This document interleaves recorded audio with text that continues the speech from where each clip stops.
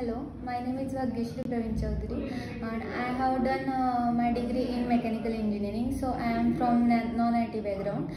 Then I decided to switch in IT background. Uh, th- then I joined the Q Spider Wakad uh, after two months ago. Uh, then uh, here uh, in Q Spider Wakad faculty is very good and very supportive nature and very helpful. Uh, they teach us each and every topic very neatly and very clearly so we can build our career in it sector. Uh, apart from that uh, here mocks and presentations are conducted uh, in every weekend. Uh, so it is very helpful and uh, it is helpful for we can build our career in IT sector.